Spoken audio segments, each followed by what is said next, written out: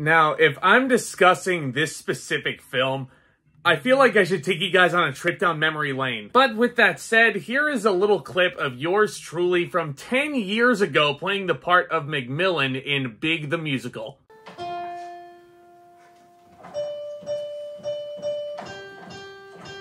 Piano lessons? Three years. Four years.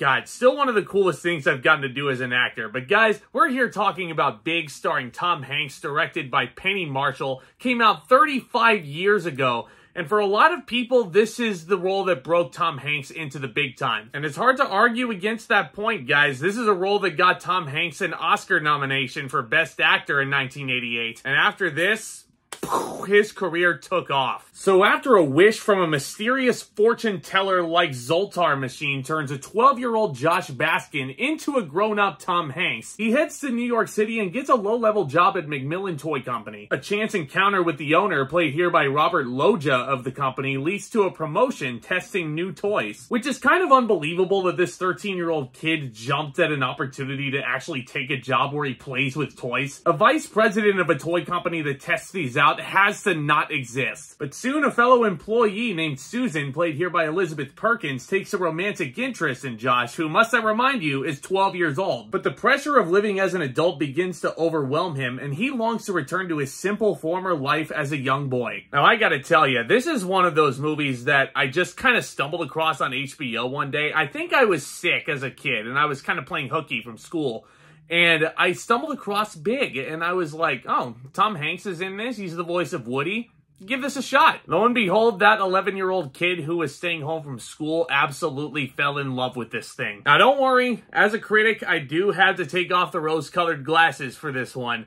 But even just on a rewatch, this is still a damn load of fun. And a lot of this has to do with an absolutely hilarious screenplay, which actually got nominated for Best Original Screenplay in 1988. It is just funny from the word go. Not only is it funny, but it happens to take the fantastical elements of this completely ridiculous situation and it grounds it in a lot of reality. There's still scenes in this movie that scare the living daylights out of me. And this actually kind of gets me into a point I want to make if you've never seen Big, which first of all, what the heck are you even doing here? But I must warn you just in case this will contain some spoilers, so if you've never seen Big, go check out the movie. It's on Disney Plus if you're a subscriber. Then come right back and we'll talk about it. But the scene that still scares the out of me is the scene where he actually checks into that ratchet hotel in New York and he hears a gunshot right outside his bedroom window. There's somebody yelling in Spanish on the phone and he locks himself up in this completely disgusting hotel room and he starts to cry himself to sleep. That's one case that I feel like really shows you what Tom Hanks was capable of. And this was a big gigantic showcase for this guy. He got an Oscar nomination out of this film. And it's not even necessarily in the fact that this is a 31 year old Tom Hanks Hanks at the time playing a 13 year old boy.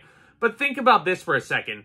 A lot of the scenes where Tom Hanks kind of realizes, oh, I done up. He does so with minimal to zero dialogue. The first scene where you see Tom Hanks in frame is actually in young Josh Baskin's bathroom, and you learn so much. Josh is so amazed at how big he's become, and that can be played for a lot of really clever little laughs here and there. Bit juvenile if you really think about it. But again, most of how we get how Tom Hanks is feeling as a character you get it with minimal dialogue. The hotel scene I just mentioned, the opening sequence where you first see him as a big version of Josh. How about the montage towards the end where he's kind of going back and looking at all the things he's missing as an adult? Because let's face it, he could have stayed in this adult world and just BS the job interviews his entire life. He could have stayed in that dream apartment for a little boy as well. And he could have continued maintaining that relationship if he wanted to with Susan, who's played great by Elizabeth Perkins, by the way. Don't really think she gets enough credit. But I really feel like with Tom Hanks's performance and the lessons that we're teaching here, don't grow up too fast. It's a very simple and kind of on the nose premise, but I think this movie handles it with a lot of class and dare I say, a lot of emotional tear-jerking moments. That might have something to do with Howard Shore's fantastic score in here. But you really feel the heartbreak for young Josh, especially throughout the first half of this movie, where his mom, who thinks Tom Hanks is a kidnapper, basically threatens him out of his own house with a Michael Myers kitchen knife. He's left with nowhere else to go, except to his best friend, who's in gym class at the point, Billy Kopecki, who's played by Jared Rushton, and he's really, really great in this movie as well. And again, this is such a smart script. That scene where he first realizes that Josh is big, like, he wants to call any sort of authority figure he can imagine. He wants to escape the clutches of this guy no matter what. But Josh very cleverly does the little ditty that him and Billy know, and only him and Billy know. Shimmy, shimmy, go-go bop, shimmy, shimmy, rock. Shimmy, shimmy, go-go bop, shimmy, shimmy, rock. You can feel the desperation in his voice so much. And fun facts, that little gimmick was actually something Tom Hanks learned at camp growing up as a boy. And it really makes the whole experience of Big feel so much more authentic. This is one of those movies that really makes you feel like a kid again, mainly because of the messages, the direction, and even with characters like the tight executives played here by the late Robert Loggia. You just take one look at this guy, and you are just waiting for that moment to strike, and you kind of feel uneasy in a sense if you watch this movie for the first time, especially in 2023, that is. You're just waiting for Robert Loggia to turn into the most vile, conniving, disgusting businessman walking the planet. Maybe somebody that you would see in the news every now and again. But no, Mr. McMillan is the nicest guy walking the planet, and for a president of a toy company, this is the most kid at heart individual in the room. And nowhere is that more apparent than the FAO Schwarz scene. I showed a little clip of my version of the big piano, but I feel like we can all aspire to be as iconic as that big piano sequence where they play heart and soul, they play chopsticks on the FAO Schwarz floor piano there, which if my memory serves me right is still out there and you can still play the floor piano. I don't know if that's true or not, but man, that's the one scene that I think of. It's the scene that's on all the advertising nowadays with Tom Hanks by himself on the piano. And for good reason, because it's such a simple little scene. This storyline is so simple and so fantastical in so many elements, but you just can't help but feel the charm of this movie. Again, not just in Hanks and Loggia's performance, the comedy in this movie, again,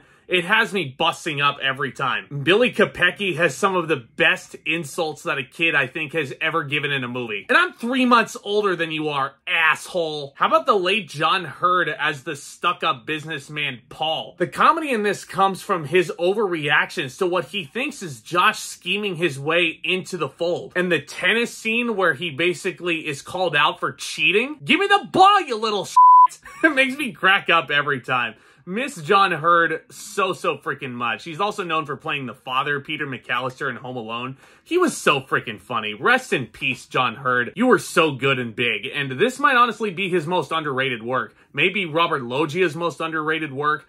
And for that matter, it might be Tom Hanks's most underrated work. Because let's face it, Everybody knows Tom Hanks is Forrest Gump. He's probably sick of being recognized as Forrest Gump in the streets and being asked to quote Forrest Gump. I urge you, if anybody happens to run into Tom Hanks in the streets, Ask him to quote big, because he probably doesn't get that a lot. And he could probably still do that camp gimmick that I was doing so, you know, eloquently earlier. That's the thing, if you ever meet a celebrity, ask them something they probably haven't heard in a million years. It'll probably lead you to having a better interaction. But joking aside, guys, Big is one of my favorite comedies. It's honestly, it's a movie that keeps getting better and better the older I get. The messages resonate with me so much more and it makes me want to not take anything else for granted, even the simplest and most childish things. Now, if I were to nitpick anything about this film, yeah, the romance in 2023 might not be the most audience friendly anymore. By the way, raise your hand if you're watching this movie and you are just so glad that Susan got the hell out of Dodge when she drops Josh off at his house at the end. Because if Josh's mother saw Susan in her car dropping Josh off at his front door,